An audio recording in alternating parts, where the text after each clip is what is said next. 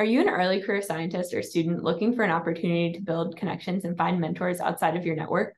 For the second year in a row, the Secret Sessions will be bringing mentor speed dating to ISMRM to help you do just that.